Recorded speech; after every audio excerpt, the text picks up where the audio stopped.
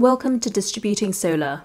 We speak with entrepreneurs and experts working in the off grid solar industry around the world, bringing to life how distributed solar is changing lives in emerging markets. In this conversation, we speak with Andreas Lehner, co founder of Trine. Trine is a European crowdfunding platform that enables retail investors, that's non professional, everyday individual investors, people like you and me, to invest in off grid solar projects around the world. They provide debt financing via loans, so the investment is clearly set out with regards to expected payback periods and interest rates. To date, they have raised over 36 million euros of investment for off grid solar projects working in East and West Africa, Latin America, and Asia. And over 10,000 investors have invested through their platform. We talk about how Trine got started, the value of sustainable and impact investments in off grid solar, but also about their longer term goals of building a sustainable bank and why the broader global financial investment landscape needs to change. Please note, this does not constitute investment advice, and the information here is for informational purposes only. Andreas, welcome to Distributing Solar. Thanks. Uh, happy to be here. So you started Trine in Sweden, but you're originally from Austria. I'd love to start by understanding a bit about how did you end up in Sweden and how did you come to start Trine? Uh, for me, everything started going back to high school when I watched An Inconvenient Truth by Al Gore. That documentary had a really big impact on me. I think I watched it three times in a row or something like that. And it just made it clear for me that I want to contribute with whatever I, will do during my life. And in particular in that one, obviously climate change. I think I was 18 around that time. So that set me on a, on a trajectory where I, it was very unclear what to do because climate change is a huge thing and it's, it's obviously not a silver bullet to fix it. I picked my studies after that in environmental energy management. At some point during my studies, I got this desire to go abroad. So I went for an Erasmus to Finland. And in that time, I went to Sweden once or twice and I really liked the country, culture, I studied sustainable energy systems here, so I'm, I'm actually a background engineer. And I jumped into a lot of sectors like uh, electric mobility, renewable energy to figure out where I really think I can add value. And in retrospective, it all makes sense, but I was just trying out a lot of things and I realized I want to work with solar energy.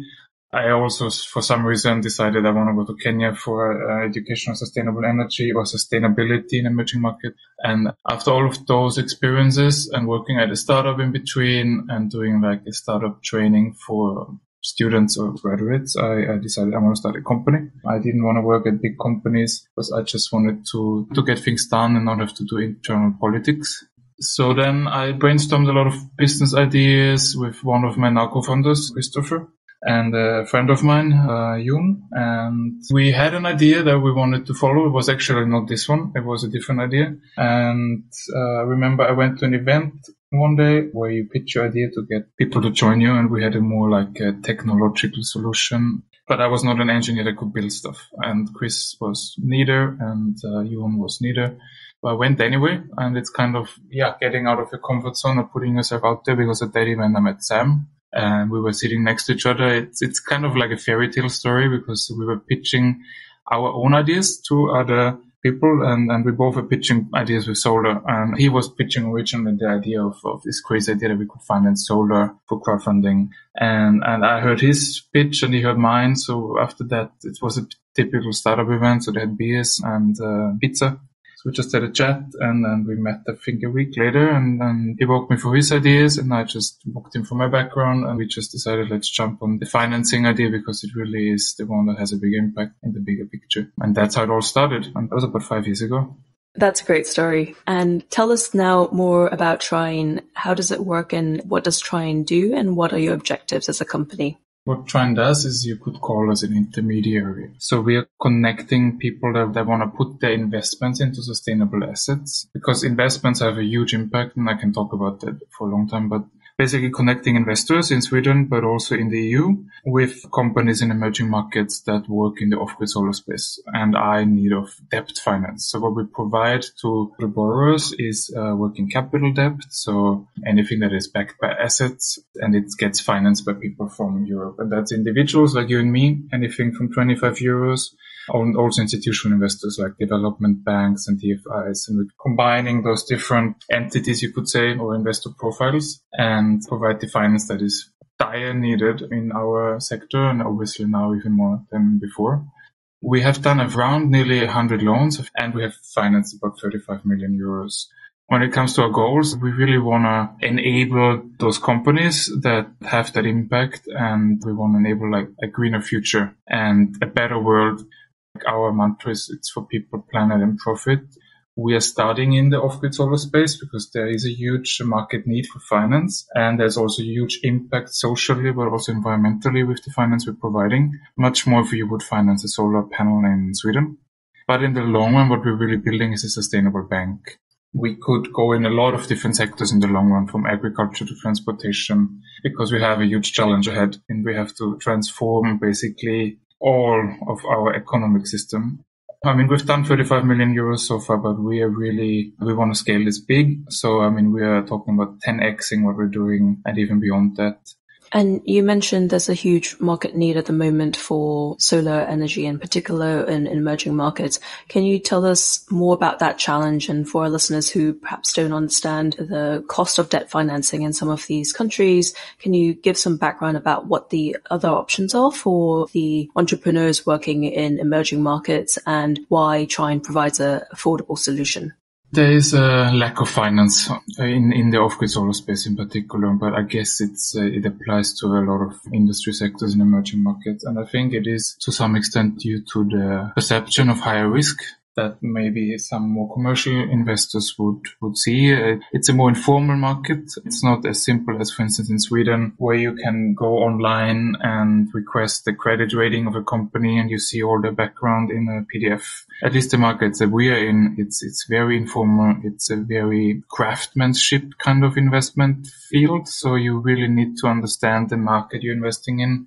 You need to uh, build your way of assessing the companies and you can't really rely on much market data.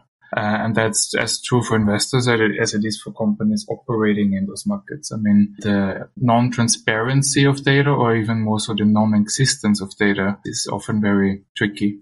When it comes to the finance we're providing, the other options out there would be on one hand local banks, which often have very high interest rates. Uh, in some countries, they have been dropped recently, like in Kenya, but overall, it's often very high. And it's, it's, I think it's partly due to their risk perception. And if that's a correct perception of risk or not can be discussed. Obviously, if you don't understand an investment as deeply as we do, for, for example, then it might be leading to a higher risk perception. But so the local banks are very expensive, high interest rates. Then there's philanthropy, which is also great to get something going, but then there is a lack in between. And, and I wouldn't say that we're cheap. I mean, we're for profit business. We have double digit interest rate numbers. But what we can offer, for example, compared to those banks is flexibility. Like we are not a very ingrained bank with ingrained processes. We, we are ourselves early stage company. So we understand being an early stage company and we're really customer oriented. So we're really building financial products that fit the market and we listen to our customers and really try to provide them with the finance that they actually need and not what they can find out there. So we're constantly developing new ways of financing our our existing and new borrowers. Can you tell us a bit about some of these ways of financing the customers that are more flexible, that are more catered towards what they're they're looking for?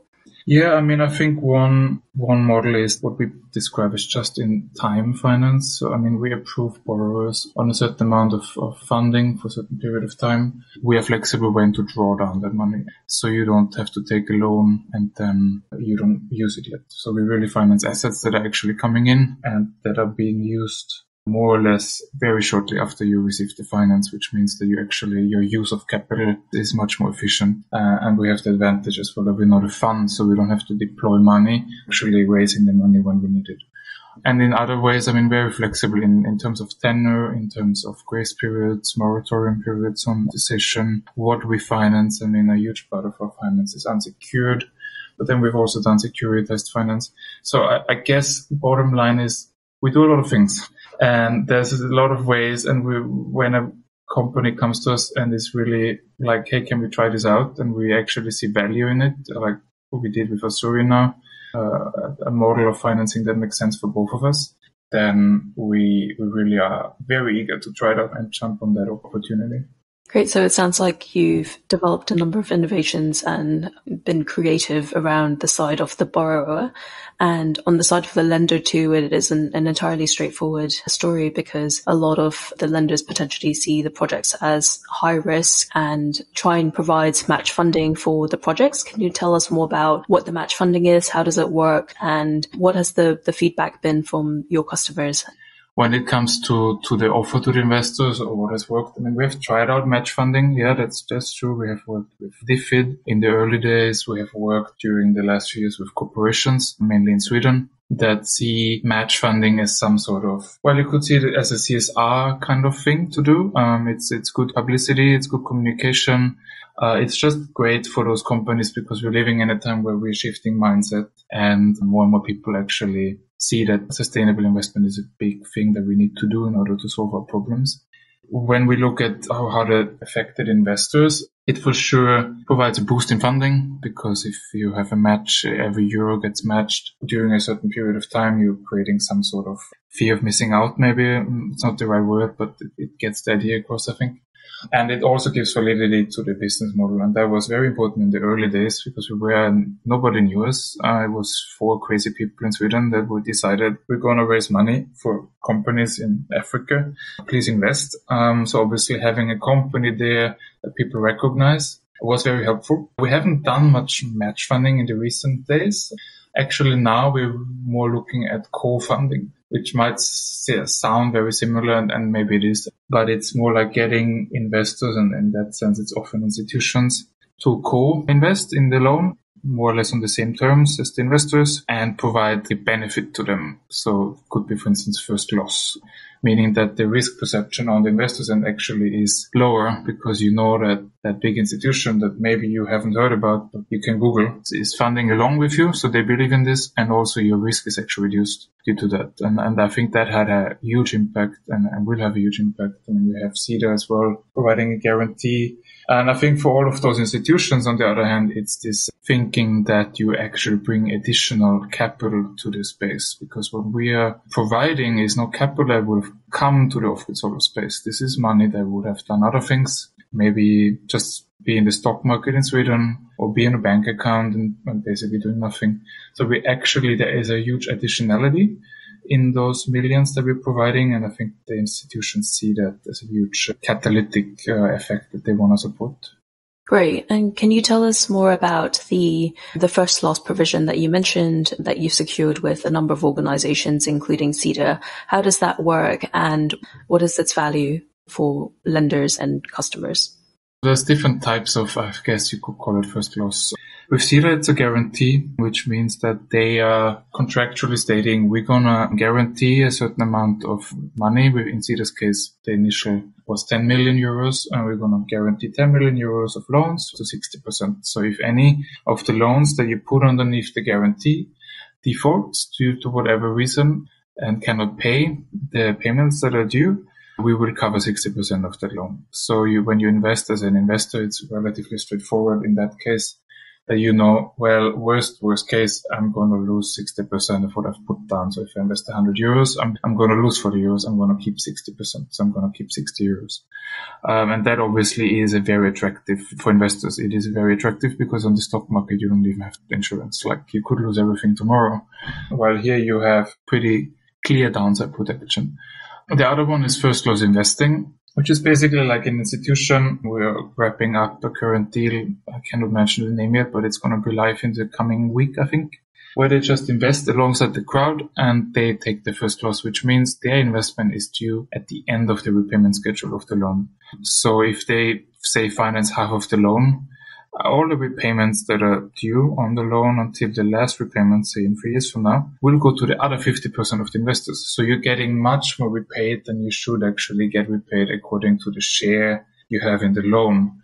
those 50% of investors get 100% of the repayments during the period until it's the last payment where the risk of default is very small.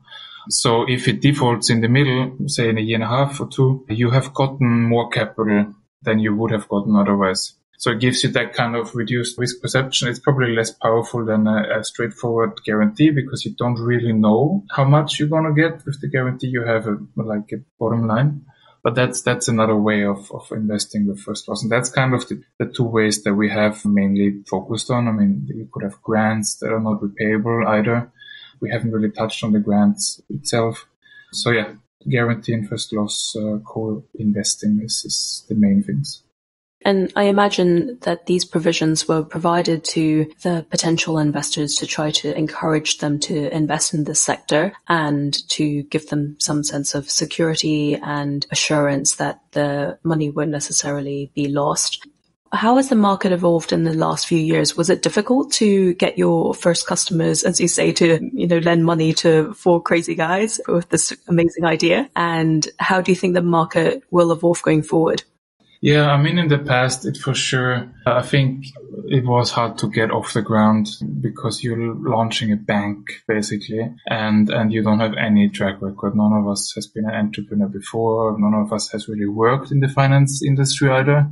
So it was challenging, I would say for sure, but we had the advantage that we're building a very clear value that you're investing in. So we got a lot of investors in the beginning, and I think we still have a lot of those that are investing because they want to do good.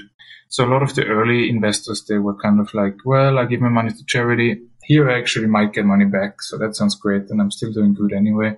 So I, I just at least use a portion of my money that I would have used maybe in charity and try this out.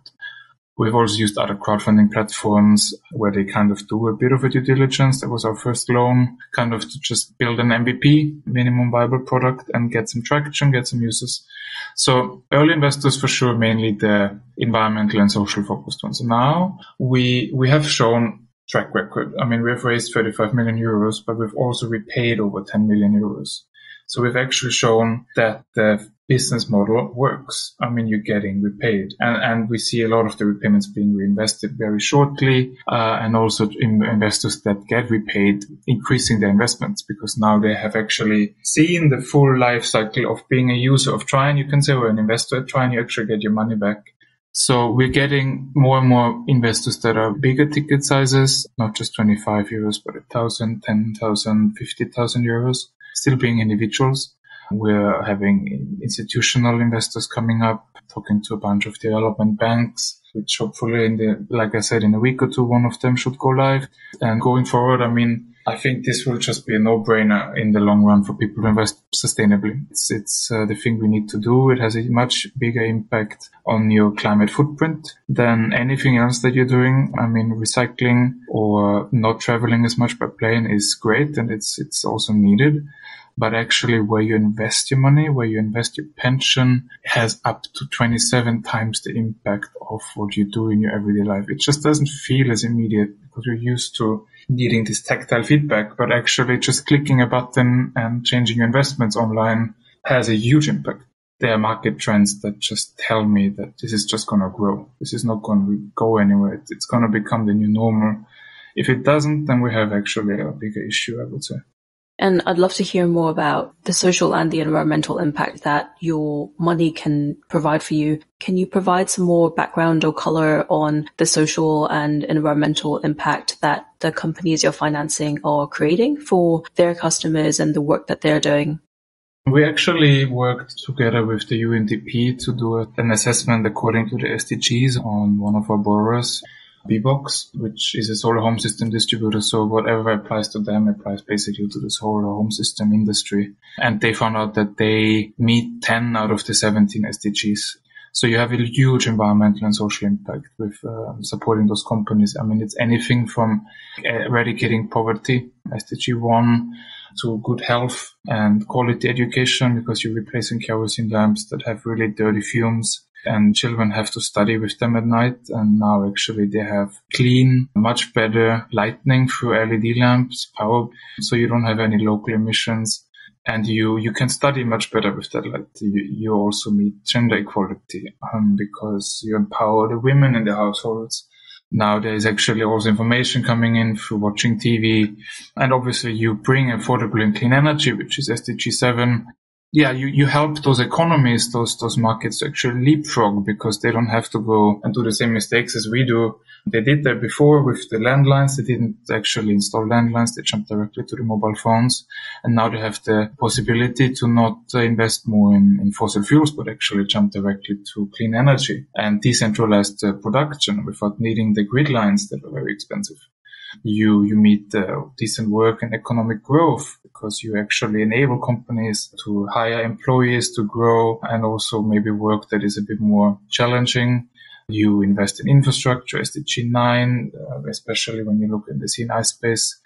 You reduce inequalities because people have more opportunities now. They have access to information. Uh, and obviously you do climate action. I mean, you offset CO2 emissions. It's very clear. It's, uh, it's, there's no fear of additionality because you're actually offsetting CO2 emissions that would have been there otherwise anyway. And lastly, you have the partnerships for the goals because obviously our industry is, is very reliant on partnerships. But, but you can see this industry is really at the forefront of social entrepreneurship and environmental leadership, I would say. And there is some issues that need to be addressed, obviously, as any, in any growing industry from battery recycling, promoting gender equality and not just having it on the paper. But I think the people that are working in industry, they have this very much close to their heart and it's just core to this industry, I would say. And speaking of some of those entrepreneurs, can you tell us about some of the projects you've worked on? You've just mentioned BBOXX, which is a pretty significant project. I think it was the largest debt financed project that had been raised in the sector. Can you tell us more about some of your projects and the companies that you're working with? And then perhaps how you find the companies and how you decide which companies to invest in and which ones not to invest in? Yeah, I mean, we work with a lot of companies across the spectrum. So it's very inspiring to see like a lot of different approaches to a similar problem, I would say. I mean, on the one hand with BBOXX, uh, one of the biggest solar home system distributors out there. You kind of see where the other companies that are maybe the, the second wave will go and, and what challenges they might face. You have Greenlight Planet, also one of the big solar home system and solar lantern distributors, manufacturers, both of them very integrated as well, meaning that they manufacture and distribute and have the customers. And, but also, I mean, that's, that's the solar home system segment. We also have Daystar Power, which works in the C&I space, commercial industrial solar, which so is much more targeted on the infrastructure aspect, actually providing a productive energy use as well at least on the commercial industrial level. So there you have a very different business model, very different customers, slightly different impact. I mean, you have less of uh, people with energy access, but much more of an infrastructure and actually the climate impact is also huge. And then you have Kingo, for example, that we work with in Guatemala.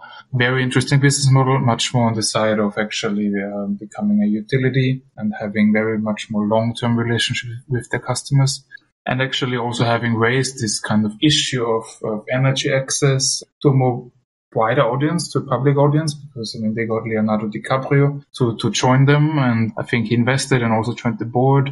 But it's uh, he was spreading the message, and and people get to know about this world through people that they might not have heard about this before otherwise. So we are very much across the space. I mean, BBOXX is one of our biggest borrowers, but Greenlight Planet is as well. And, and what we've done back then is it's actually for us becoming the new normal. For instance, our framework contracts or what you would say what we want to disperse to a company during a year or so is, is around 10 million euros per now. But it's, it's just great to grow with those companies and see how they are changing their business model, how they are changing their approach. When it comes to how the process works or how you can become a partner to Trine or borrower to Trine.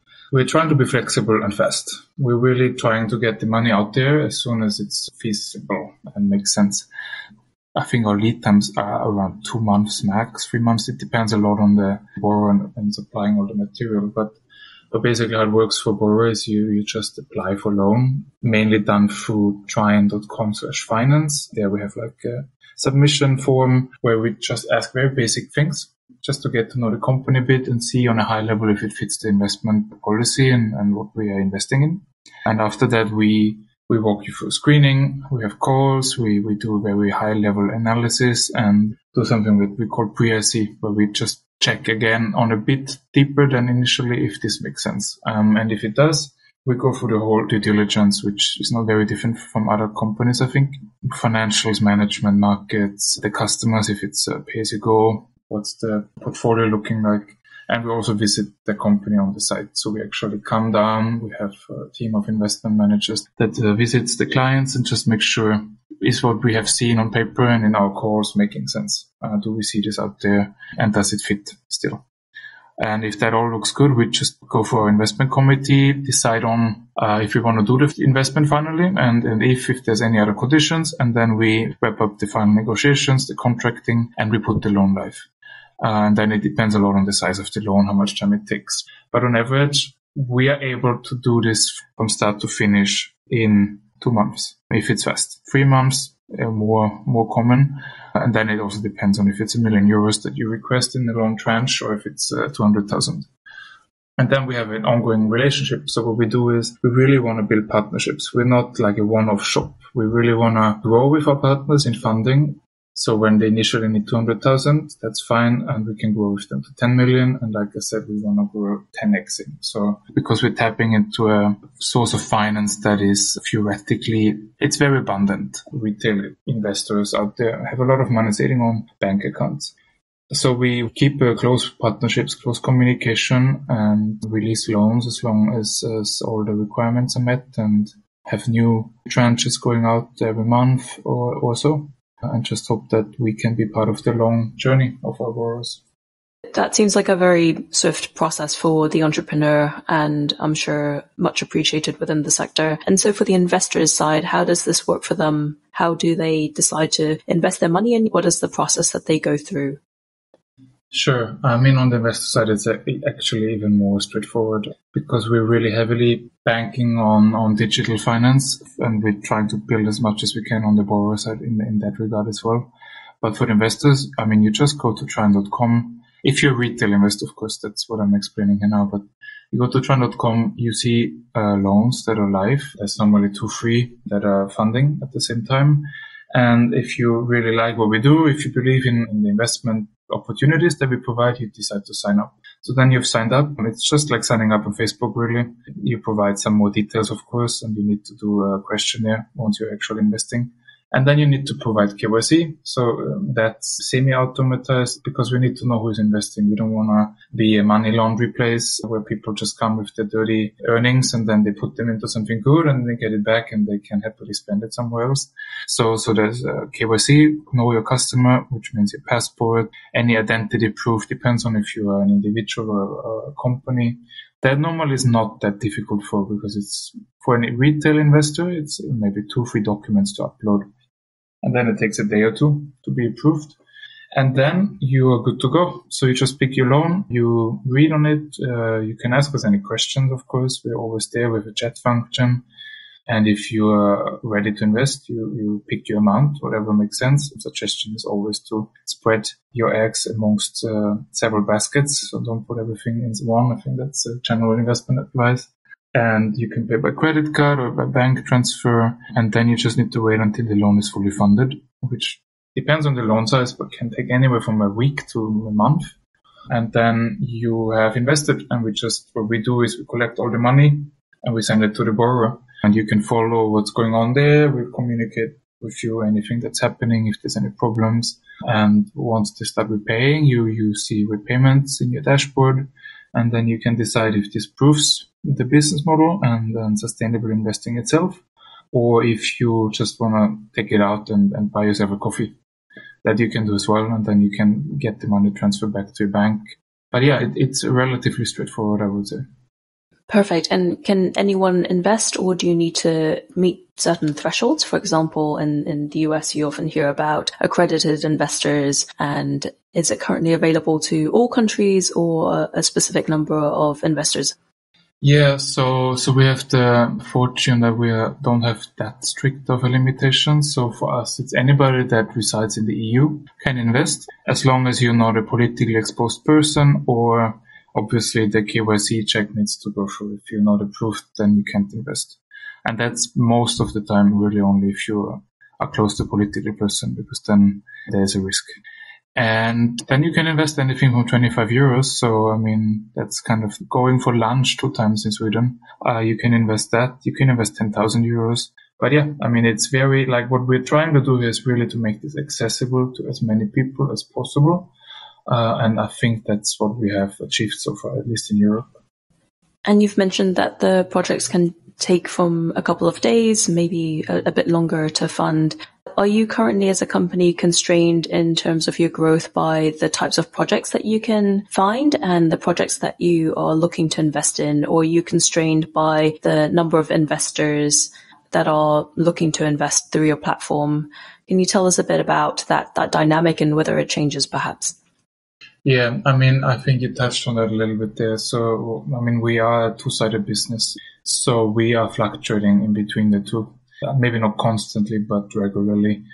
I mean, obviously finding good deals is important and sometimes you might hit a period where you have less opportunities on the table, that the investment opportunities that you have worked on is maybe not as good in the, in the last stages. Actually, we've never really hit an issue with funding. We have never had, for instance, non-successful funding. We, we always could meet the demand of financing the coronavirus, as we are currently talking about this in May 2020, has a bit of an impact on funding, of course, because if you lose a lot of money on the stock market, you might not be as interested in putting this into maybe sometimes uh, as perceived more risky countries but that has actually been recovering. So, so I would say it's uh, it fluctuates, and it's probably if I would have to pick one, I would probably pick this the deal side because it takes more work, it's more time consuming, it takes more people because you really have to go deep and travel there, meet the companies. So that even though we try to really do it fast, if you do it for a lot of loans, it, it takes time. It takes more time than signing up an investor, I would say. Do you typically find that the customers that you have joining a project are repeated investors? So they have already invested in previous projects or are there a lot of new investors who have just found Join and are excited to invest?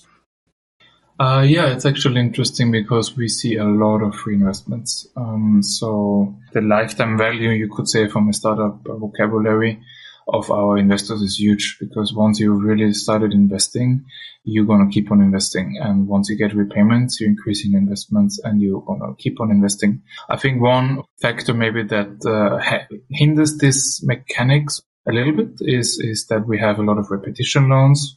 I mean, we have, I think now Green Planet 11 live, Daystar Power 13. So it's like the 13th tranche to the borrower. So some investors have invested the amount that they wanted to invest in that company, uh, especially if you think from a portfolio point of view, and they're more looking for new companies. So I would say for, for existing borrowers, the baseline is still existing investors, but it's a bigger percentage that comes from new investors just because existing investors are not willing to expose themselves uh, as much as they did in the beginning. And for new loans, so new borrowers that just go live, like I think we had Yellow Solar, it's one of the newest ones. There, it's it's a good mix. I mean, but a lot of existing investors just jump right on the opportunity, and those loans get very they get funded very fast due to that mechanic because it's a diversification play, and you believe in the product, you believe in the investment. If you're an existing investor, so long story short, it's actually uh, a lot of existing investors. Yeah. Which countries are you currently working in, and are there any countries that you're particularly excited about and interested to work in? We are heavily still currently in East Africa due to our history. That's where we started. Kenya was the market where we did our first investments, but we're also in Tanzania, Uganda, Rwanda. We have investments in Nigeria, in Senegal, so a bit in West Africa as well, but also in Southeast Asia with Pakistan and Myanmar, and like I said before, with Kingo uh, in Guatemala in South America. And we are generally very open to countries. Like we don't have a I mean, obviously there's a blacklist um, of countries where we wouldn't invest in. Maybe North Korea might not be the best place. But uh, besides those obvious examples where there is war or where there is problems, we we are pretty open. What we're really excited about, I would say, is West Africa. It's kind of the next step for us, obviously having had a very strong focus on East Africa and in particular there Nigeria due to, to a huge extent also the mini grid market there that is really shaping up, partly because there is subsidies coming in now that are kind of needed to get the mini grid sector going. And there is actually really some bankable opportunities on the table to, to jump onto the mini grid sector. So, I mean, outside of the geographic focus, I think what we're really excited about is also the mini grid space. Uh, still a lot of work needed. We're far from where we are with solar home systems, but I think there is signs that it, it's going to be a sector to look at and Nigeria has a lot of support for it. And also in the C&I space, uh, is uh, having a lot of opportunities and it's a huge market anyway. So, uh, so that's, I think, what we're excited about. And maybe that's a great time to start talking about some of the learnings you've made as a company it's obviously been uh, an incredible journey that you've been on. You've gone to build not just a company from scratch, but in many ways also an entire sector from scratch. What have your key learnings been as a company and have there been any lessons that have been particularly difficult to learn or painful to learn? Yes, there was for sure a lot of learnings when you start a company from scratch. We, we had to have an attitude of learning from the early days because you're building something that you don't really have full picture about. Especially most of us didn't have an extensive background in finance. I mean, Sam, my co-founder, has done finance for solar in the US. So there was a bit of an understanding what it is, but at the same time, it's very different when you do it in emerging markets. And then also the due diligence that you're doing is very different from what you do in Sweden for example, I mean, it's a lot more, like I said, craftsmanship to some extent. You need to really know what to look for. And, and that took a lot of learning. I would say the early companies that we financed are not companies that we would finance today anymore. With every investment, we learn something in the, especially in the beginning, the first eight, nine investments, just really understand what it is that makes a good company, what makes a good investment case what are the financial products that we can offer and what are the financial products that we should offer. As a company as well, I am sure every founder would say that hiring is hard. Learning who to hire and where to find those people and how to, how to know that they fit the culture, that they have the knowledge that you need in that particular role is something that I think we're still learning and, and we got much better at it. And in general, we have a learning culture. Like you can make mistakes. That's fine. I don't think we embrace mistakes, but most mistakes, it's fine if you do them once. But if you do the same mistake several times, then it's really an issue. And, and those things can break companies. But in the early days, really, we, we tested a lot of things. Um, we did A-B testing as well on the investor side. So meaning that you test two different hypotheses on the homepage and see what the reactions are. And, and there you do a lot of learning on things that work and things that don't work. So that's what I would say on a, on a company level. Uh, on a personal note for myself, I would say as a founder, I, in the early days had this idea that I have to be able to be good at everything. And that's obviously unrealistic. And you have to be able to distribute tasks. You have to be able to, to let go and, and hire people that are better than yourself at that task and, and reinvent yourself constantly as a founder. As, at least in my case, it might not apply to everybody. I'm, I'm a generalist more or less at heart. So um, I, I'm good at a lot of things, but I'm not great. Um, and then you should hire those people uh, when you scale. And also, like as a founder, you don't need to be a good manager. It's fine in the early days not to be great. And then later on, you, you have to hire good managers and learn from them if you don't learn by yourself. And for me, it was more that I had to learn or I, I'm willing to learn from people that we have hired. But uh, it's hard. It's hard sometimes to reinvent yourself and it's hard sometimes to let go of things that might be seen as prestigious externally because you have an ego and your ego is there and you cannot deny that it feels good sometimes. There's a lot of learnings. It's it's impossible to put them all in uh, five six minutes, but uh, those are the ones that come to mind for the market as a whole, for the off-grid solar industry and, and the debt financing industry, is your goal to attract more commercial investors into that sector and to really grow the potential of that market? Do you see the sector moving towards that direction? And do you think eventually we'll get to a place where a lot of commercial investors and large sustainable funds potentially are investing in that space looking for market rate returns?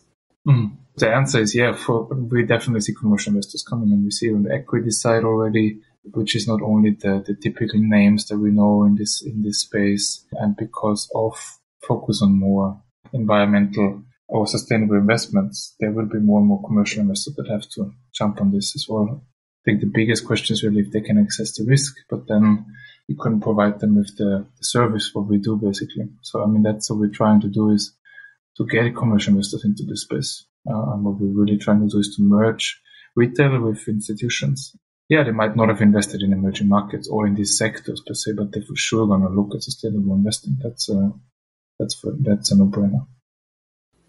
I guess there's currently a split between the retail investment sector where you have individuals deciding where they want to invest their money. And then you have on the other side, institutional financing where you have very large professional funds that are investing into this space. And what it feels to me that Trine's doing is certainly working in the retail space, but is your longer term aim to move into the, the professional investing space to really upscale the size of your investments so you can invest billions of dollars in, in the way that many of these funds are operating? Or is it always going to be really focused on, on the retail side? Currently, we're very much heavy on the retail, and I think we're, we're adding a lot of value there. But I think in order to uh, enable us to really hit the, the goals that we have for us, I mean, really being a big part of the solution and, and shifting the world of finance, we, we also need to be in other places. We definitely see retail investment as a core part of our business because it is the core of where the money comes from. I mean, the money in banks is not money of the banks. It's the money of the people that put it in the banks. We just forget about it sometimes that those huge, huge institutions actually only have money because people gave them money. Huge development funds, uh, DFIs, they only have money because we pay taxes. Otherwise they wouldn't be there. So I think the retail segment has a huge potential. We're definitely going to stick with it. But we also see that in order to hit scale fast, we need to look at other sources of funding as well. If we're not finding the secret key to really getting millions of people into this tomorrow, I think it makes sense for us to partner with institutions. And we're already doing that. We have, like I said, an institution that is soon ready. Uh, we have two, three that we're talking with. And basically the idea is to blend them together because that's at least with the institution we're talking with today, that's where we're adding value as well because they are providing to some extent catalytic capital because it actually unlocks more capital. And that's where we really have a strength today. In the long run, I don't see anything for us not to go also to the to the billion fund kind of schemes because like I said, I think the core of the company is people, planet, profit as long as we can invest in things that we believe in, and I guess sometimes in that bigger scale, in the billions, it becomes less transparent. It becomes a little bit less possible to follow up on. That's going to be one challenge to, work with. But in the long run, for us, we see retail and institutions to, to work together on our platform and give benefits to each other or just invest on the same terms as long as they provide capital and we can actually help them put the capital to good use where we have knowledge and currently that's the off-grid solar space. But the idea is, like I said, to expand, to go to other segments uh, in the long term and to really become good at those segments and then provide the knowledge to investors that want to invest the money in the segments without having to acquire all the knowledge that we have acquired through the years. So you've provided a lot of financing to companies working in emerging markets and around the debt side. For Trine as a company, how are you funded and how did you raise your equity funding? Tell us more about that process of raising equity for your company and what your goals are going forward. How it started, I think, is the, the typical startup funding journey, I would say. I mean, we, we did a pre seed round in the very early days just to cover expenses to get off the ground. And then we did a seed round with at that time mainly angel investors. Actually, I think none of the investors we had at that time was even connected to this space. So this was a, a kind of a fintech investment. And, and then we just started building the product, started gaining traction, showing some results. Uh, and then we raised our A round, which was around 6 million euros. And that was led by, well, it's a mix between a family office and a VC. Gullspång Invest, um, based in Stockholm. They really did the majority of that equity round. And then we had also some, some angel investors that wanted to come along that had knowledge that we wanted, some of them having experience in the emerging markets of off-grid solar space and some having experience in other areas like product development. And we just wanted to have them on board to have uh, people close to us that we can can talk to and ask for support or questions when we when we face an issue or we, we don't know how to handle a problem. So that's how we're mainly financed through equity. Uh, and actually, we're also currently raising our next equity round. So if there's any equity investors out there, uh, happy to talk. But yeah, it's equity. Uh, that's how we've financed ourselves. Great. And going forward, what are your goals and what is the longer term vision for Trine as a company? I mean, the longer term vision is kind of connected to what I've said earlier. So we don't see ourselves in the really long run as a pure off-grid solar uh, investor. We definitely want to be there. We want to take a huge space uh, and support the companies. But uh, once we once we've hit investment volumes are too big for that sector, we we also want to focus on other sectors that fit the people, planet, profit, bottom line, triple impact focus. So that could be anything from agriculture to transportation. So, so we for sure see that we're gonna diversify what we finance in the long run. But for that, we will need to add more teams and really have nailed the investments of the off-grid solar, where I think we still have some learnings to do. And in terms of everything else, I mean, we really want to make this a, a, funding unicorn. So we really want to 10x what we can raise.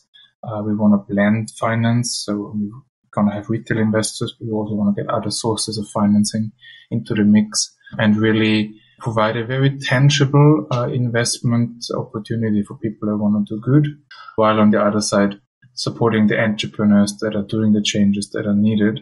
Currently, this is the solar off-grid space, but there's a lot of entrepreneurs out there that doing uh, really great things. Great, and it certainly fits within the the larger industry trend around sustainable financing. Can you speak more about your approach to that sector? What are your thoughts around sustainable financing and sustainable investing that you think will be the longer term trends and longer term output? Yeah, I mean, I think the, the most basic way of looking at it is just that we believe that uh, sustainable financing or impact investing will be terms that will be in the past because they need to merge with traditional investing, if you want to call it that way. Because traditional investing is not going to work. There is just no rational to invest in the old way. Um, I mean, there is a lot of information out there. There's movements like the divest movement that are not just based on purely, oh, we need to rescue the climate, but they're also very rational. I mean, McKinsey had a report where they looked at the climate change impact on the housing market there. Um, I think it was around 1.5 degrees Celsius. What that would mean, it would mean billions of dollars being lost due to rising sea levels. So from a pure investor perspective, it just doesn't make sense to let that happen. A lot of our money currently is in assets that are so-called stranded assets, which means that their valuations are bloated. I think the Financial Times put the 900 billion dollar mark on that one.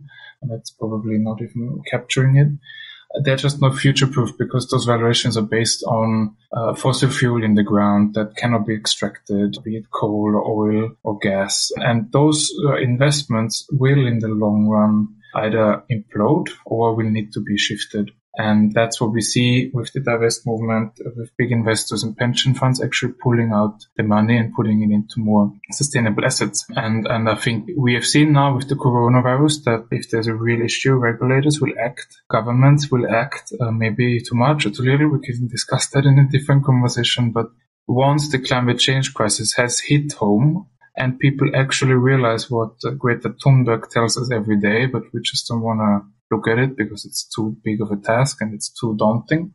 Once people will see it, hopefully not too late, action will happen. We have seen it can. I mean, we have seen that governments can act if they really get pushed to do so. And if we push them, they will do that. And then you actually have a regulator push. And if we're still driven by market economy, but then the push from those asset classes into more sustainable ones, they will be looked at from investors because they need to put their money somewhere and they need to put it where it's future proof. So we for sure see a huge trend. A lot of people becoming more aware of, of the impact of the finance, which like I said has 27 times the impact of anything else you can do. Actually, ESG investments, they are outperforming the traditional investments already today.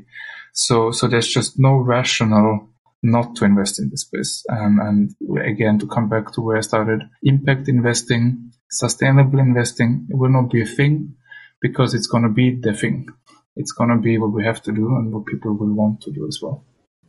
And we've obviously seen at the moment a huge impact of a COVID-19 and coronavirus on all countries in the world. And there are particular concerns around the really adverse impact it might have in the emerging market. Can you tell us more about what you've seen around the impacts of COVID-19? COVID-19 is in itself partly unpredictable, so it's obviously hard to predict the future. But what we have seen so far is actually a relatively limited effect of it. I mean, since since COVID-19 started becoming a bigger thing in in uh, sub-Saharan Africa and other markets that we're in, we started really to actively monitor our portfolio even more uh, on exactly that how it affects uh, the portfolios of the solar home system basic companies and also the C&I companies. And we haven't seen a huge effect. I mean, we've seen effects in countries that are at the time of this recording in lockdown, which is Nigeria, Rwanda, and for instance, Pakistan. There we have seen like a bigger impact on the portfolios to some extent. But actually, on the other hand, we have seen uh, the opposite in other markets where companies actually record their best sales months ever because either they got picked as an essential service and they can still operate anyway as normal in terms of installing and selling. And also the customers currently prioritizing paying for electricity because they're at home much more. They still have some funds that they can use to pay for electricity and it just makes more sense for them but in the long run, if this takes a long time and actually affects the rural population more or there's more lockdowns, if uh, farmers can't sell their produce, this will have an effect, that's for sure. And, and we see companies reacting, either giving free electricity for a month or so, just to, to actually help the customers. We see that the industry is coming together with, uh, with a relief fund initiative from, I think, all major investors in the space to provide a similar support as the governments have done in Sweden and in, other markets like the US. So we see that coming up. And uh, to go back to the question, I think currently we don't see huge warning signals. We don't have any loans in default. We don't have any restructuring currently due to coronavirus. The companies that we're working with mainly have the cushion currently to go through this and have a bit of a drop maybe of revenues it might hit the earlier entrants more than the established players.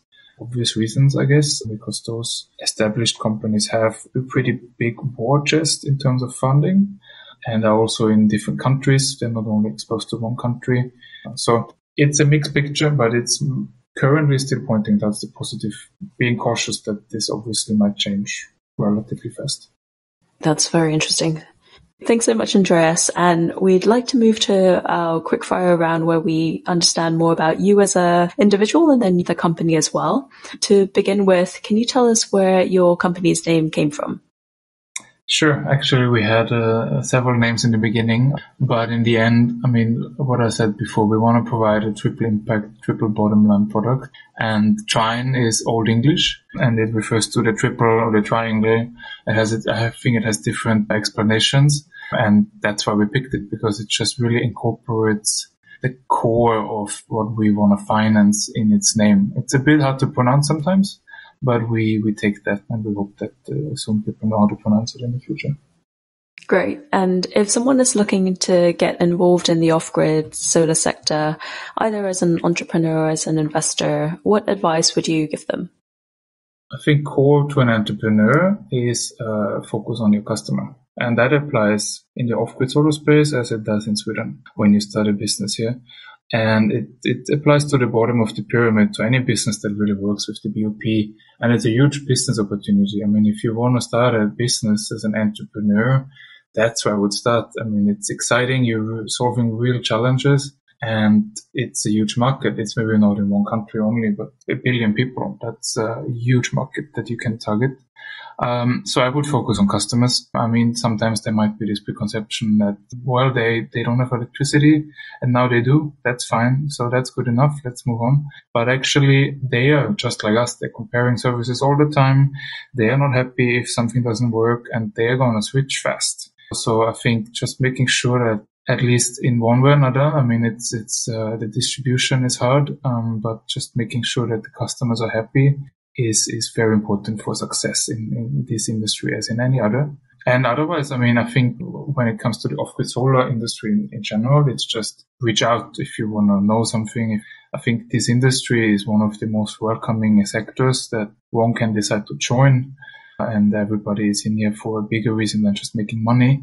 Obviously, we're building for profit businesses, but we're also having other things in mind. So, so just reach out.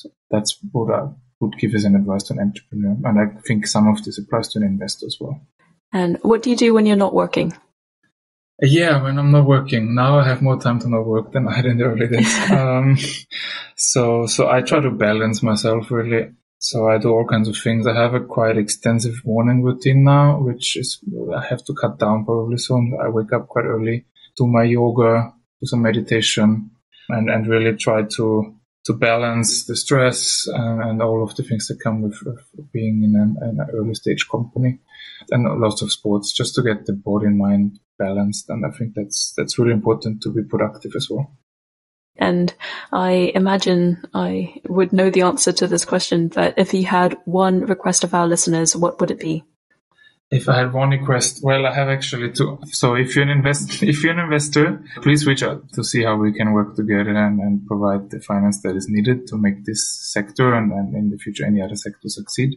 And if you're a solar company, obviously we are here to support you and, and provide the finance that you need. So if you haven't talked to us yet, if we haven't been on your radar, just reach out. We have all our emails on the homepage. There is trine.com slash finance where you can actually apply for finance uh, and just send us a message and we, we, we see what we can do. Perfect. And to close our conversation, what are your predictions for the off-grid solar sector for the next five years? Yes, predictions. It's probably not the best time to make predictions. Uh, with a lot of things are unpredictable in, in coronavirus, but I think there's for sure some trends in the market that we can see. Um, I think one is consolidation in the solar home system space. There's a few big uh, big uh, companies out there already. There's the second wave, and there's a few that are even coming in a third wave. In some countries, maybe not overall, but in some countries we will probably see consolidation also because equity investors are just not willing to invest in everybody. And in, in markets like Kenya, it's, uh, it's a bit crowded right now.